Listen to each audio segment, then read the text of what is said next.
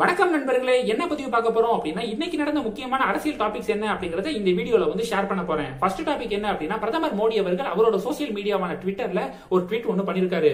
அந்த ட்வீட் வந்து ரொம்ப வைரலா ஷேர் ஆகுது. அப்படி என்ன சொல்லியிருக்காரு அப்படின்னா இந்தியா வந்து கோவாக்சின் கோவிஷீல்டு ஆகிய இரண்டு தடுப்பூசிகள் கண்டுபிடிச்சு பல உலக நாடுகளுக்கு ஏற்றுமதி பண்றாங்க. இன்னைக்கு என்ன சொல்லியிருக்காருன்னா ஒரு ஹாப்பியான நியூஸை வந்து உங்கள்கிட்ட ஷேர் பண்றேன். என்னுடைய தாய்க்கு கொரோனா தடுப்பூசிக்கான ஃபர்ஸ்ட் டோஸை வந்து இன்னைக்கு போட்டிருக்கோம். நீங்களும் உங்களை சுத்தி இருக்கிறவங்களுக்கு கொரோனா தடுப்பூசி போடுறதுக்கு மோட்டிவேட் பண்ணுங்க உதவி செய்யுங்க அப்படின்னு பிரைம் மினிஸ்டர் மோடி அவர்கள் இன்னைக்கு ஒரு ட்வீட் ஒன்று போட்டிருக்காரு. அந்த ட்வீட் வந்து ரொம்ப வைரலா ஷேர் ஆகுது.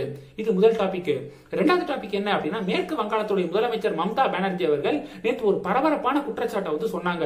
என்ன சொன்னாங்க அப்படின்னா ஒரு நாலு பேர் வந்து என்னை வந்து தாக்கிட்டாங்க. அதுல என்னுடைய கால் வந்து கார்ல வந்து இடிச்சிருச்சு. அதனால வந்து நான் வந்து ஃபீவரிஷா இருக்கேன் அப்படின்னு சொன்னாங்க. அது மட்டும் கிடையாது இப்ப கொல்கத்தால இருக்கக்கூடிய ஒரு ஹாஸ்பிட்டல்ல ட்ரீட்மெண்ட்ல இருக்காங்க. இப்ப என்ன தகவல் அப்படின்னா நம்ம தமிழகத்தை சேர்ந்த கரூர் பாராளுமன்ற உறுப்பினர் ஜோதிமணி அவர்கள் ஒரு ட்விட் ஒன்னு போட்டிருந்தாங்க. அந்த ட்விட் வந்து அவங்களுக்கு ஒரு உச்சகட்ட சிக்கலை வந்து ஏற்படுத்தி கொடுத்துருக்கு. அப்படி என்ன ட்விட் போட்டாங்க அப்படின்னா சோ வலிமையான முதலமைச்சரான மம்தா பானர்ஜி அவர்களை வந்து பாஜகவினர் வந்து தாக்கி அவங்களுக்கு இப்படி ஆயிருக்கு அப்படி நினைக்கும் போது ஒருவேளை அவங்க ஆட்சிக்கு வந்தா சாதாரண பெண்களுடைய நிலைமை என்ன அப்படிங்கிற மாதிரி ட்வீட் வந்து போட்டிருக்காங்க. சோ இப்போ ஒரு அதிர்ச்சியான தகவல் என்ன அப்படின்னு பாத்தீங்கன்னா மேற்கு வங்காளத்தை பொறுத்த வரைக்கும் பாஜக வந்து இங்க தனித்து போட்டிடுறாங்க. அதுக்கடுத்து திரிணாமுல் காங்கிரஸ் கட்சி மம்தா பானர்ஜி அவர்களுடைய கட்சி அதுக்கடுத்து காங்கிரஸும் கம்யூனிஸ்டும் அங்கே வந்து கூட்டணி வச்சிருக்காங்க. ஸோ இந்த இன்சிடென்ட் பத்தி பாஜக என்ன சொல்றாங்க அப்படின்னா தோல்வி பயம் வந்துருச்சு மம்தா பானர்ஜி அவர்களுக்கு. அதனாலதான் இப்படி வந்து நாடகம் ஆடுறாங்க அப்படின்னு வந்து ஒரு விமர்சனத்தை முன் வச்சாங்க.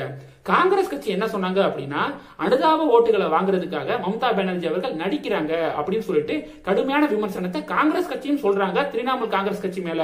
சோ இது தெரியாம வந்து ஜோதிமணி அவர்கள் இப்படி வந்து ட்வீட் போட்டது அவங்களுக்கு ஒரு மிகப்பெரிய சிக்கலை வந்து ஏற்படுத்தி கொடுத்துருக்கு. அவங்க போட்ட அந்த ட்வீட்டும் வந்து சோசியல் மீடியால ரொம்ப வைரலா ஷேர் ஆகுது. இது வந்து ரெண்டாவது டாபிக் மூணாவது டாபிக் என்ன அப்படின்னா புதிய அதிர்ச்சியில் திமுக தலைவர் ஸ்டாலின் மற்றும் எடப்பாடி பழனிசாமி அவர்கள்.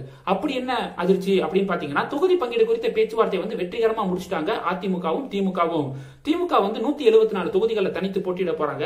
அதிமுக வந்து நூத்தி எழுபத்தி ஒரு தொகுதிகளில் வந்து தனித்து போட்டியிட போறாங்க. இப்ப என்ன சிக்கல் வந்திருக்கு அப்படின்னா எந்தெந்த தொகுதிகளில் போட்டிடுறது அப்படிங்கறத ஒரு சிக்கல் வந்திருக்கு. சோ அதிமுகவுடைய கூட்டணியில் இருக்கக்கூடிய பாஜகவுக்கு இருபது தொகுதிகள் வந்து கொடுத்திருக்காங்க. அதுல ஒரு தொகுதி வந்து ராமநாதபுரம் தொகுதி. அந்த ராமநாதபுரம் தொகுதியை சேர்ந்த அதிமுகவுடைய தொண்டர்கள் வந்து இன்னைக்கு வந்து போராட்டத்துல வந்து இறங்கிட்டாங்க.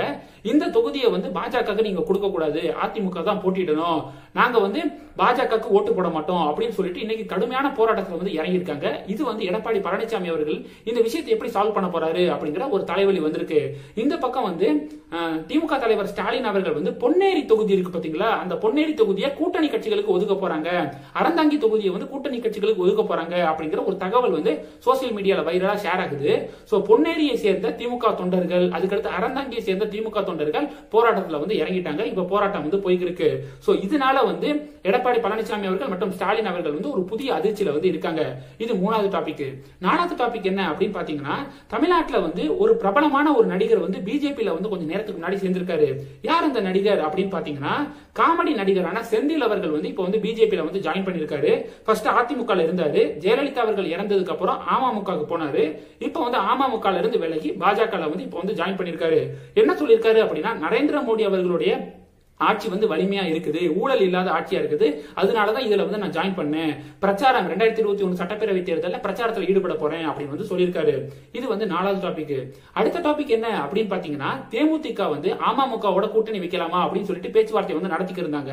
ஆனா அந்த பேச்சுவார்த்தை வந்து தோல்வியில வந்து முடிஞ்சிருச்சான் இதன் காரணமாக தேமுதிக வந்து ரெண்டாயிரத்தி இருபத்தி ஒண்ணு சட்டப்பேரவை தேர்தலில் தனித்து போட்டியிடலாம் அப்படின்னு சொல்லிட்டு இப்போ வந்து ஒரு முடிவுல இருக்கிறதா ஒரு தகவல் வந்து வைரலா ஷேர் ஆகுது.